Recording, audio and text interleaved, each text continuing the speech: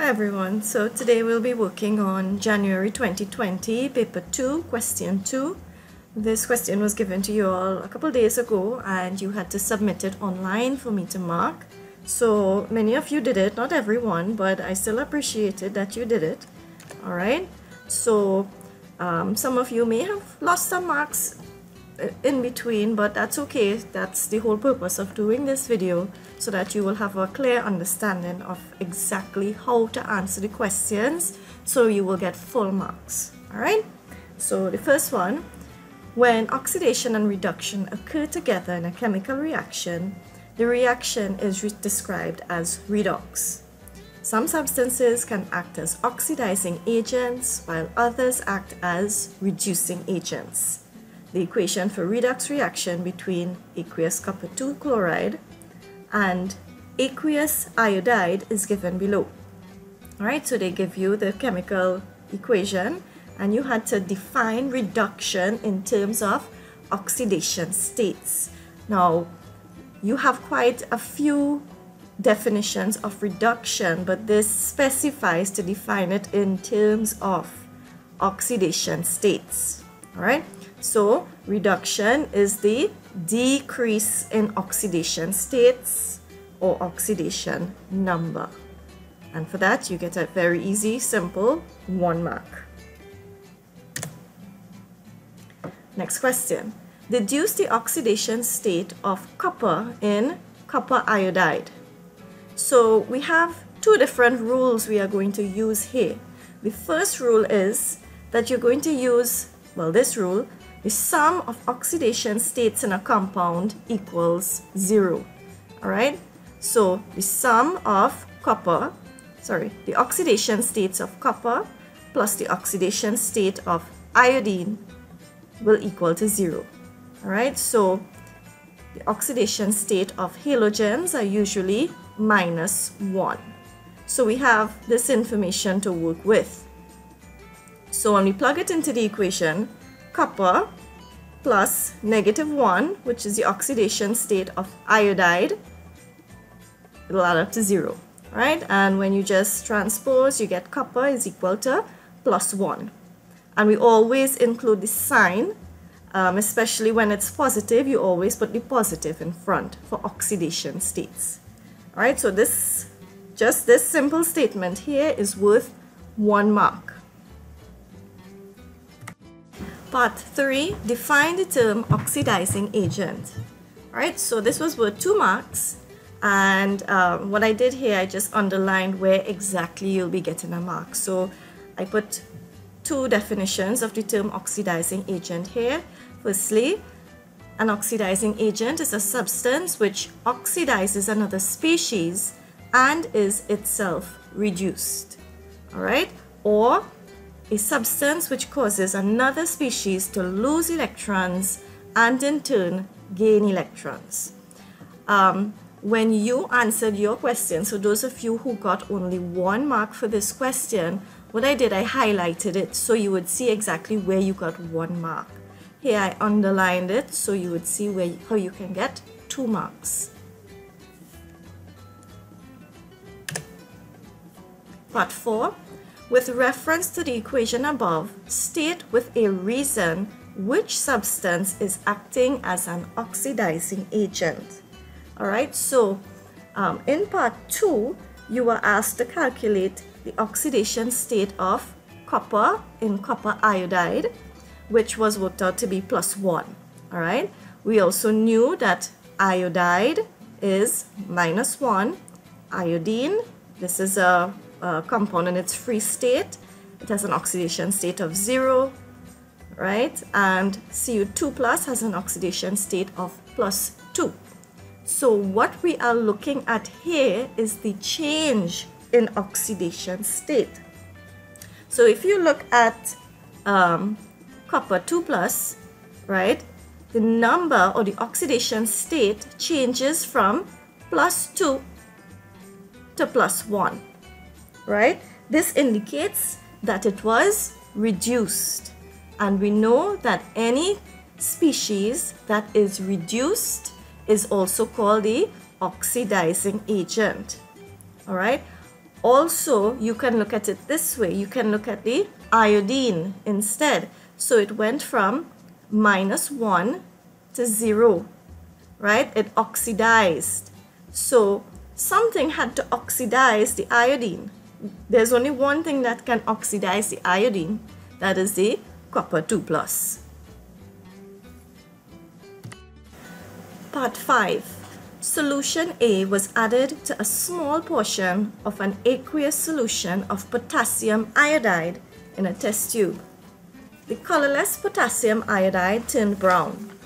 State whether solution A contained an oxidizing agent or a reducing agent. Alright, so what I did here, I just included a little visual for you. So A is being added to a colorless, well, this is, it shows blue, but it's supposed to be colorless, right? So this is initially colorless, and as A is being added, it's being converted to brown. Alright, so this basically means the iodide in potassium iodide is being oxidized to iodine, which is giving it that brown color. Alright, so for only one mark, Iodide was oxidized to iodine, therefore A contained an oxidizing agent. So if iodide was oxidized, there's only one thing that can oxidize it, that is A. So explain your answer in A part 5. Iodine was iodide was oxidized to iodine, giving rise to the brown color change. Iodine in solution is brown. If potassium iodide was oxidized, this makes solution A the oxidizing agent. Alright? So this is also what we refer to as a single displacement reaction. Alright? They didn't tell us exactly what is A, so we have to work with this information that we are given. So with that being said, now we have to write a balanced, a balanced chemical equation to show the formation of the brown product in the reaction in A part 5. Now we don't even know what A is, right? So we only use what information is given to us.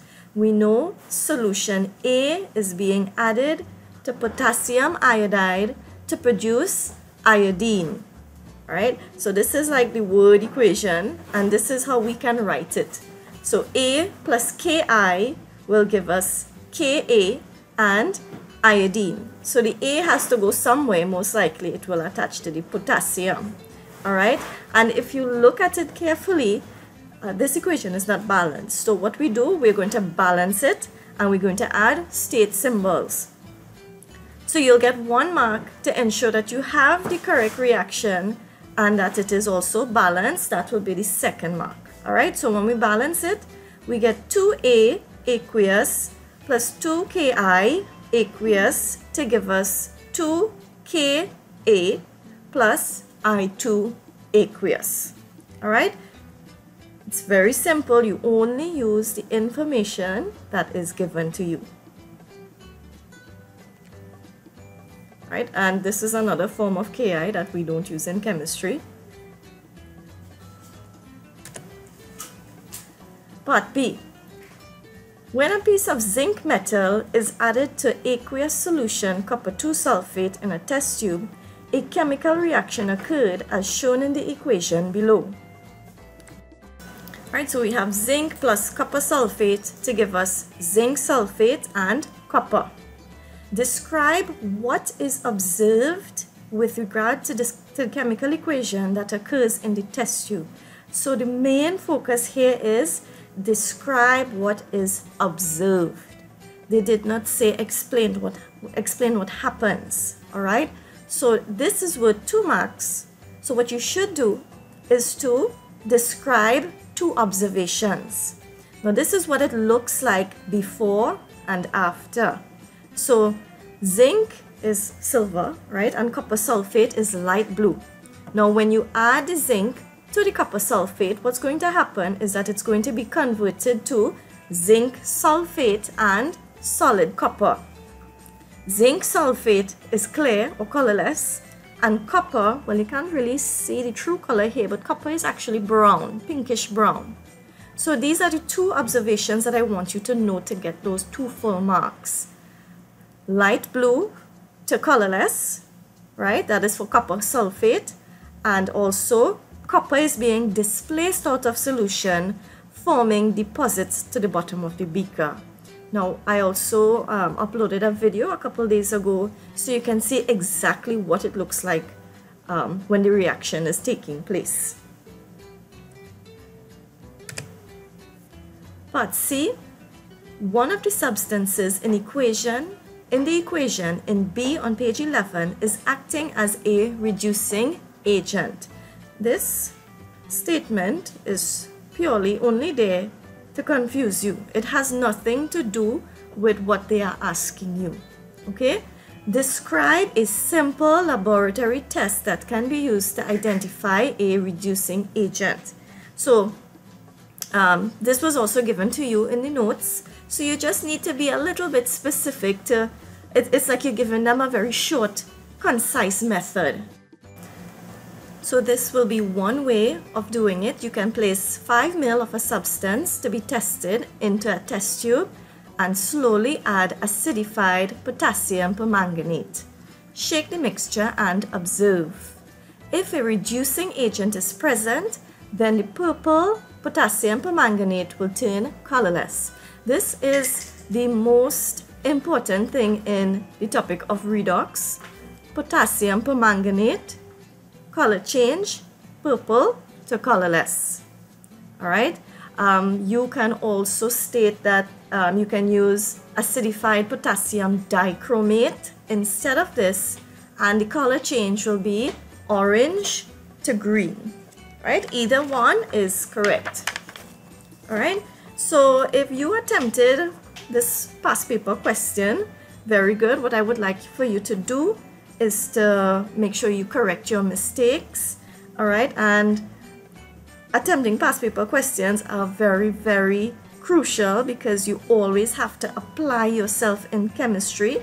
Now if you look at the marks carefully only three out of 15 marks in this question were definitions the rest you actually had to figure it out all right so what you have to do, make sure you correct your mistakes. And if you still don't understand any part of the question, you know, you can always communicate with me. All right. So that's it for today. Take care. Bye.